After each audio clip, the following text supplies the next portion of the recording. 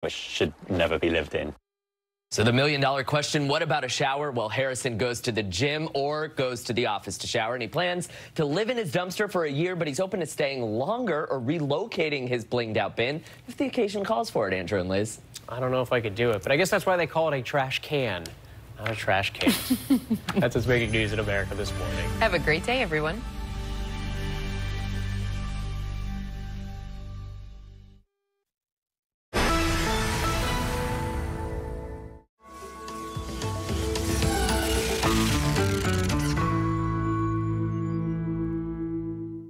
It's Tuesday, March 7th. They crossed the border and haven't been seen since. We start here a group of Americans are kidnapped on their way into Mexico. There are shootouts between rival groups in that city all the time. This type of trip is not unique either. What it means for security measures now in each country. It could have been President Biden's first veto. Instead, he says he'll go with Republicans on this one. It was just deeply unpopular with the populace that's been experiencing rising crime. How urban crime has upended pre election politics. And Russia is ready to take back a Ukrainian city. They've forced Russia to expend ammunition, lose men. But as it costs Vladimir Putin more rubles and Russian lives than it's worth. From ABC News, this is Start Here. I'm Brad Mielke. As much as we talk about people coming from Mexico into the U.S. to live, the fact is that in border towns, travel is not one way. Every day, nearly a million people cross the border legally. 350 million people a year. That's trucks carrying goods. That's employees going to work. And of course, tourists. The difference here is that Mexican tourists need a visa to come here. Americans going to Mexico do not. And because of this, there are entire industries in Mexico devoted to Americans crossing over for the day or just the afternoon. Some of these are services that aren't legal here. The others are just simply easier to obtain or just cheaper there. Four people who are now missing, even feared kidnapped in Mexico. You know, they were just slamming them on the truck like they were dead dogs. Well, yesterday we learned that four Americans crossing into Mexico were allegedly dragged out of their cars at gunpoint and kidnapped. They've not been heard from since, and this has created a flashpoint for Mexican and American authorities. Let's go straight to ABC's Matt Rivers, who's based in Mexico City. Where was this exactly, Matt? Yeah, this is a city called Matamoros. It's in a state called Tamaulipas. That state borders South Texas. So the city of Matamoros, is just about 12 miles or so from the city of Brownsville, which is right in the southern part uh, of Texas. And what we're learning from authorities, we, we first learned something was going on here on Friday afternoon, where we knew that there was some kind of a shootout, some kind of major violence in Matamoros that afternoon, which isn't unfortunately all that uncommon. This is an area that is very violent. Drug cartel fueled violence has plagued this area for years and years and years now. But then as the weekend goes on, by Sunday evening, the FBI puts out a statement. They say that actually four Americans have been kidnapped directly related to that violence that we heard about mm. on Friday evening. They say that four U.S. citizens crossed the border from Brownsville into Matamoros, uh, driving a white minivan with North Carolina plates, and that armed men carrying large rifles, wearing body armor. They then kidnap those four Americans, and their status to this day, we don't know where they are or how they're doing. Video that starts circulating on social media that ABC can't completely verify, but we know the FBI is using this video as a part of their investigation. In this video, you see one of these Americans being pulled up into a pickup truck bed. Then you see another person being dragged into the pickup truck bed. They're not moving. And another person lays on the ground, not moving at all. That person then left on the ground as that pickup truck drives away. Fast forward to Monday afternoon, ABC News learns about the families of some of these victims. We managed to get in contact with the mother of one of the victims, a woman named Latavia McGee goes by the nickname Tay. Her mother says that Latavia and her three traveling companions, Shaeed Woodwards and Dell Brown and Eric Williams, they left from the East Coast, from South Carolina, went to Mexico because Latavia was getting plastic surgery somewhere in Mexico. So she travels with these three other people. They cross into Mexico, and eventually Latavia's mom finds out. The, the FBI contacts her and says, Hey, we believe your daughter has been kidnapped along with the people that she's been traveling with. And that brings us to where we are right now. Are authorities giving a reason for why this might have happened or why these Americans might have been targeted? So we're not sure whether they were targeted specifically or not. What the Mexican mm. government has said is they were caught up in a shootout between armed groups. Now, whether they were some kind of a part of that or whether they were simply in the wrong place at the wrong time, we don't know. But what I can tell you from years of covering the border is that these places are incredibly dangerous. It is entirely possible that these people crossed the border at the wrong time because there are shootouts between rival groups in that city all the time. We're standing ready to provide all appropriate uh, consular assistance. We do also remind Americans about the existing travel guidance when it comes to this uh, particular part of Mexico. The, the, U.S. State Department has rated the state of Tamaulipas, which is where Matamoros is, they've rated that state as a level four do not travel. You know where else they give out those ratings to, that level four rating? Syria, Afghanistan, wow. North Korea. So they're not messing around when they put out a level four rating, and that is how they've classified this part of Mexico. It is an incredibly dangerous place. Well, and how are the respective governments kind of characterizing this? Because like we've heard about violence along the border for a long time. We've heard about cartels. We've heard about Americans being victims of crimes when they go to Mexico. None of that's particularly new, and yet these governments seem to be responding to this kidnapping. Maybe it's because it's kidnapping, but very, very urgently. Hundred percent. And and it's not normal that just because an American is involved in a crime in Mexico that the FBI goes very public with it. Um, but that is what we're seeing in this case. The Departments of State and Homeland Security are also coordinating with Mexican authorities, and we will continue to coordinate uh, with Mexico and push them for, uh, to bring those responsible to justice. We're seeing that FBI put out a $50,000 reward for any information leading to the safe return of these four Americans, as well as to the arrests of those responsible here. Sí, pero ya se está atendiendo. We saw Mexico's president talk about it at his daily press conference on Monday morning, saying that he's instructed his government to work with U.S. authorities to get these people back safely. So there's no question that both governments feel a sense of urgency here.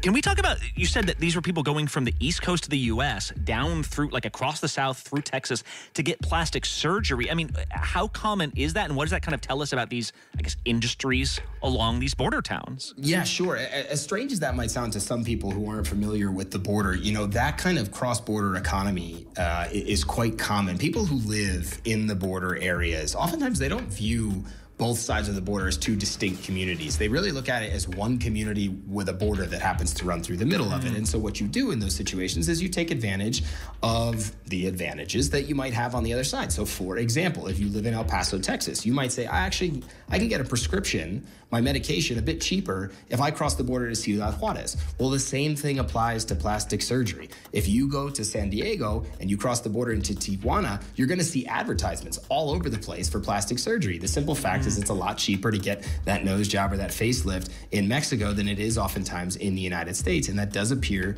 to be uh, what at least one of these victims was doing, accompanied by her friends.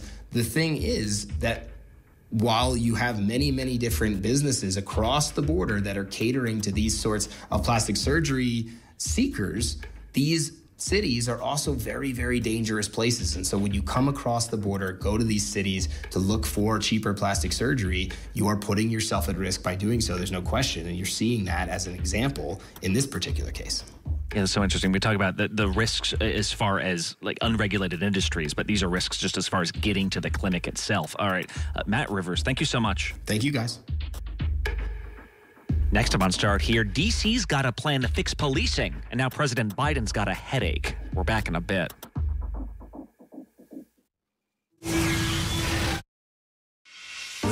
Much at stake, so much on the line, more Americans turn here than any other newscast. ABC News World News Tonight with David Muir, America's number one most watched newscast across all of television.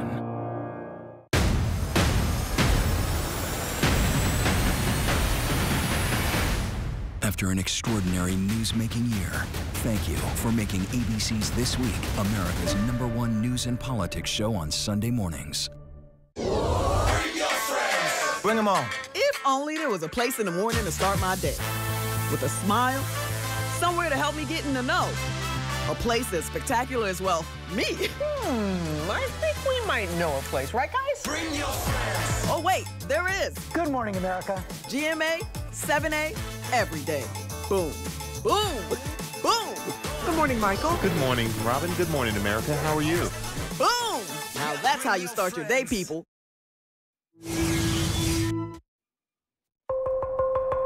If you want a sense of how intense debates over crime have become, consider this. Yesterday outside Atlanta, the protest against the construction of a police training site on a piece of forest land resulted in dozens of arrests. We say no to Cop City and we say no to this history. Police allege that protesters began throwing rocks, then bricks, then fireworks and Molotov cocktails. Eventually, a truck was set on fire. This was a very violent attack that occurred this evening. Very violent attack. And this wasn't about a public safety training center. This was about anarchy, and this was about the attempt to destabilize. In addition to the environmental concerns, a lot of these activists have said the fundamental problem here is how much latitude we give to police, that we're willing to devote pristine land to this institution that's caused what they see as so much harm over the years. This protest represents the extreme, but it is clear there are voters out there that are tired of so called tough on crime politicians.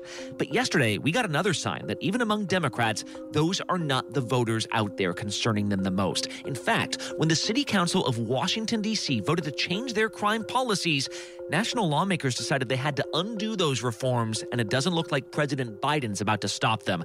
ABC's Trish Turner joins us from the nation's capital. And Trish, I always forget this, but Washington, D.C., it's got a mayor, it's got a city council, but its funding all comes from Congress, right? Like they set the rules. How did this blow up this week? Yeah, that's exactly right, Brad. So DC, like you said, has its own government, but ultimately, it, under our laws, it's Congress who has the final say. So final review, if you will, and it's called home rule. So they're basically able to come in. Um, federal lawmakers come in and they say if they don't like something that DC has done, you know, they can come in and reverse it. And so that's exactly what we saw this week. Well, and this seems applicable to a lot of places because so many big blue cities are trying to figure out their approach to crime rates right now. What was this plan?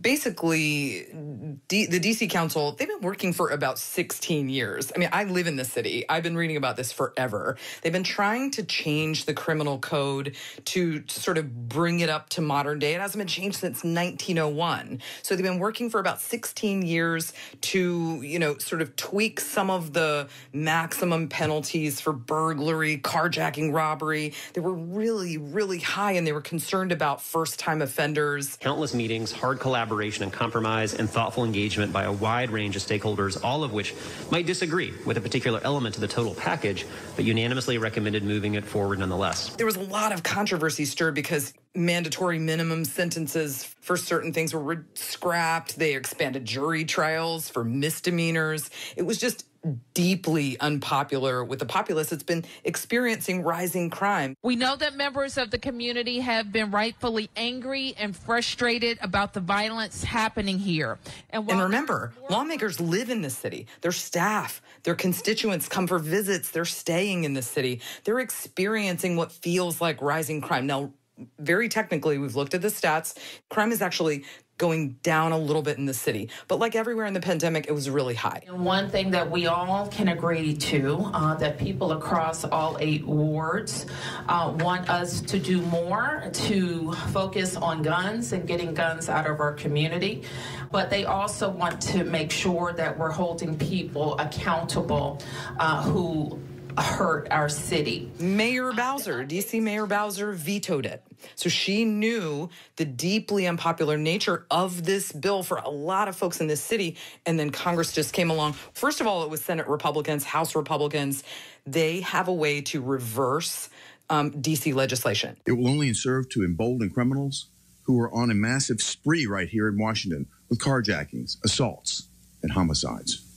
That's why I'm leading the Senate resolution to block this bill. Senate Republicans, they devised this re- resolution, and lo and behold, there, there were some Democrats who decided to go along. But, you know, ultimately, we're going to see a vote on Wednesday. But Biden, just so I'm clear, though, I, I get that Republicans got a couple Democrats to come along with them, so whatever. But Biden could veto this if he wanted to, right? Why doesn't he? That is exactly right. He surprised us in a closed door lunch last week. He told Senate Democrats, I am going to side with Republicans. I'm not going to veto this. He said that very clearly, and we heard it very loud and clear. And uh, uh, I clap. I clap very loudly because I, I feel the same. And so that opens the door even wider. That gives cover to Democrats.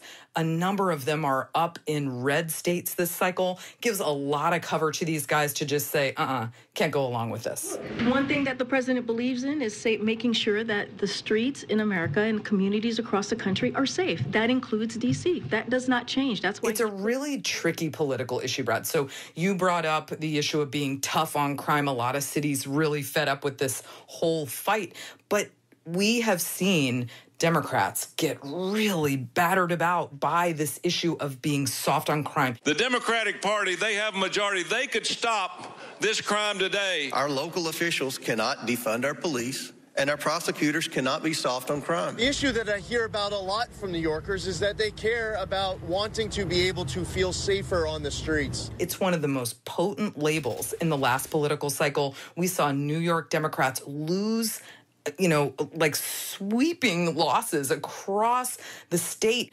And then we saw Chicago Mayor Lori Lightfoot. She was tossed out, didn't even win her primary. Right. So it, it's just a it's a really potent political issue. And even Nancy Pelosi, former speaker, she saw the writing on the wall, and you know, and she she said, "This is a fight that's about soft on crime," and you know, should have seen this coming. They don't do this often, they do it sparingly. And so, the first time in 30 years, with the help of the majority of Democrats, a lot of Democrats, Republicans are going to prevail here. And President Biden is going along. Yeah, it just sort of shows you where this debate on crime is going to be like in 2024. You even have big city mayors like Eric Adams in New York City essentially saying, like, we're being too easy, not too tough on criminals right now. Uh, Trish Turner, thank you so much. Always a pleasure. A few weeks ago, you might remember our foreign correspondent Patrick Reevell described this phenomenon unfolding in Ukraine where some of these battles are being waged by groups of Russian mercenaries, many of them convicts released from prison just to fight. The town they were eyeing at that moment was Bakhmut in the eastern part of Ukraine. Well, right now, Bakhmut is now virtually surrounded by Russians, leading many to say it's not a matter of if Bakhmut falls, but when. Let's go to ABC's foreign correspondent James Longman, who's in that part of the country, in Dnipro. And James, for months, the narrative was that Russia is now losing the land that it had taken early on in the war. It sounds like that might not be the case, right? What, what's happening there now? Well, that's right. So Bakhmut, to set the scene, pre-war had about 75,000 people living there and its population. And in many ways, it's one of these cities that is kind of a gateway to the rest of the Donbass. So strategically, for the Russians, it's not massively important in and of itself, but it would give them a platform to uh, launch attacks on much larger cities, which would be very, very important for them, cities like Kramatorsk and Sloviansk. Um, but above all, I think for the Russians, this would be a significant propaganda boost. I mean, they haven't had a major win in something like eight months, and so they need it. They, they need this to show not just the world, but you know their own people back home in Russia that this was worth the fight, even though strategically it's not that important. But what's fascinating about Bakhmut is it's become a kind of politically significant place for Russia because of the internal dynamics in Moscow. You have two major Russian fighting forces here. You have the regular standing army, Russian, the Russian military, and you have Wagner Group. These are the mercenaries that Russia pays to fight its wars. And basically, what happened was the guy who runs Wagner, Yevgeny Prigozhin, said to Putin, your guys aren't getting Bakhmut. I can go in there. Let me do it. My guys can do it. Mm. And what's happened is he hasn't been able to win this particular battle, and so blaming it on Moscow. So what Bakhmut has become is, over and above its strategic value on the battlefield, it's become this kind of political football. But now it seems that finally uh, Prigozhin's promise, even though it's come late, may actually be coming true. And he is uh, succeeding, along with Russian standing army uh, troops, in surrounding the city. We understand that it might be that there are Russian forces currently in the northern suburbs of Bakhmut. A number of bridges have been destroyed. That might be the, the Ukrainians blowing them up, because that's what happens when you uh, withdraw from a city, or it might be the Russians blowing them up. But either way, it does look like it's a question of uh, uh, when and not if. Wait, then, James, if, if you're saying Bakhmut is not actually that important, the Russians are spending a whole lot of energy on something that's not not the most strategically important city. It's just a PR win for them, and you know Bakhmut eventually is going to fall. If you're the Ukrainians, why stay and fight this out so hard? We we thought they might even give up the city over the weekend. That hasn't happened. No, again and again, the Ukrainians have said, absolutely not, we won't, we're going to stay, don't listen to the Russian propaganda, we're fighting. We are defending and will continue to defend every part of Ukraine. When the time comes, we will liberate every city and village of our country. And actually, we've had an update very recently from a senior Ukrainian general uh, saying that uh, there more reservists are going to Bakhmut. Mm. But the thing is, is that the whole message from the Ukrainians is we will fight for every shred of our land, every inch. We won't succeed to the Russians. Um, we've had visits there from senior members of the Ukrainian uh, government and military who visited the kind of area around Bakhmut. So for them, it's become symbolically massively important, but actually also strategically important because they've been able, they say, to exhaust Russia in so many ways. They've forced Russia to expend ammunition, lose men, mm. uh, just sink enormous amounts of resource into Bakhmut. And in the meantime, heavily fortify the area around it. So whilst Bakhmut may fall, what the uh, Ukrainians have been able to do is go to towns and cities nearby and heavily fortify them. And, and they've used this time well. So that has been, it looks to be, the Ukrainian strategy thus far. There would be a criticism of this, saying, well, you've wasted a lot of men, you've wasted a lot of uh, resources, you've paid a heavy, heavy price if this has been your strategy. But what's been fascinating to watch in Bakhmut is the kind of modalities of warfare, because on the one side you have Russia with these kind of World War II tactics, carpet bombing entire areas, bringing down entire apartment buildings, constant, constant bombardment with artillery. In fact, they, they, they've used fighter planes in Bakhmut, just bombing as much as they can, total war. And on the other side, you've had Ukraine which has been much more surgical uh, about this, using drones to draw out uh, Russian troops and then hitting them with artillery, uh, going after the leadership, uh, scoping out where Russians are in their positions and going after them. So um, it has been, it's crystallized really a lot of the dynamics that are happening all over the country, and Ukraine has been able to uh, to fight this war on its terms in Bakhmut. At least that's what they say. Yeah, it sounds like extracting those costs that the Russians are willing to pay. Like that that's almost the strategy here, thinking that the more casualties the Russians endure, the more the pressure actually grows in places like Russia, in Moscow, as people continue wondering whether any of this is worth it. All right, James Longman, there in Dnipro, Ukraine. Thank you so much. Thanks a lot, Brad.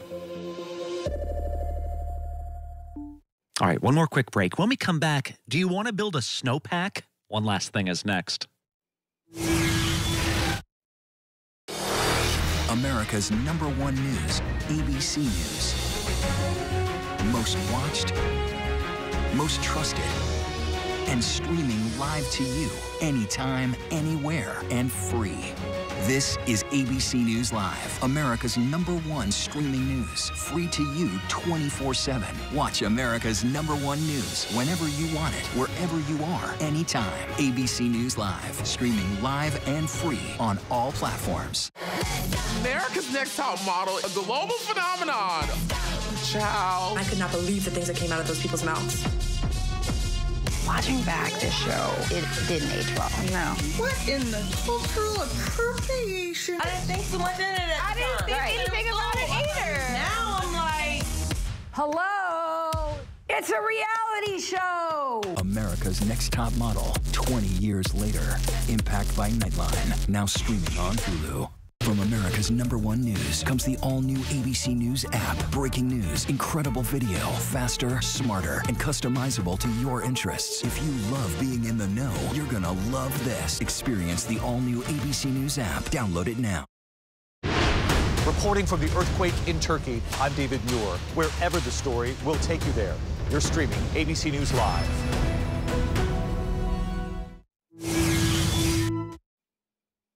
And one last thing.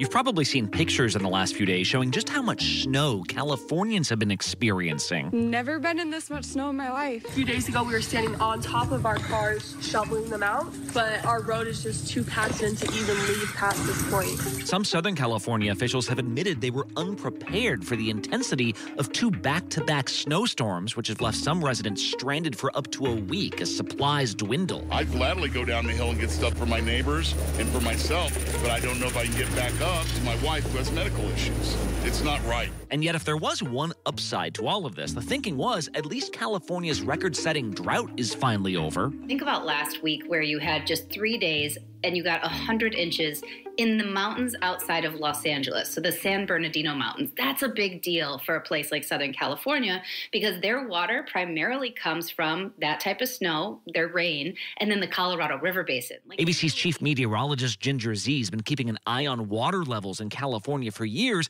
and she says snow is a key factor to keeping water flowing all year round unbelievable to watch the snowpack, which, by the way, is now at 190% of normal for the whole state of California. And yet, she says, this is not the end of the story, not even close. We will get these extreme wet and cold seasons in a place like California, but then it'll be followed by a longer stretch of hot and dry until you'll quickly evaporate everything that fell. Ginger says because overall temperatures are continuing to rise around the world, around the state, here's what's about to happen. Snow is going to melt a little faster than years past. That new water in the soil will fill reservoirs, but it'll also contribute to the growth of tons of plants, which sounds nice, but because the air is warmer, those plants will grow faster and then dry out quicker than they used to. As those plants dry out quickly, because it is so hot and so dry in the next couple of seasons, inevitably, they're going to burn fast. And you're going to have huge wildfire seasons because you just created a bunch of starters for fires. Oh, like the extra water followed by the dryness would actually create more fires, you're saying? Yes. And as we have seen in the last couple of decades has proven, even when we get a helpful season, and we'll call it that, it is really difficult to rebound fully because we're we're in a place right now because of human induced climate change amplifying those natural cycles that the resilience to drought is just not there. And that's the trouble with these huge flash weather events. It's tempting to say, how bad can climate change be if LA is getting snow? Well, not only does it lead to more severe weather events in the future, but huge rains and huge fires every couple years that gets more heat, more drought, strips soil. It gets harder for everything to bounce back. So, what kind of snowstorms would be helpful? Well, just head down to the coast and ask any California surfer what they'd prefer. A solid set with waves spaced evenly apart, or one huge ball bomb that could batter you. Really gnarly up in those mountain towns right now. Hey, it's come to my attention that one of our loyal listeners has a birthday today. Dylan from Jacksonville. Thank you so much for starting here. Truly hope you have a great day. By the way, my mother in law's birthday was yesterday, but she doesn't listen. So, like, Dylan, you get all the shout outs. A reminder you can always follow us on Twitter and Instagram at Start Here ABC. I'm Brad Mielke. See you tomorrow.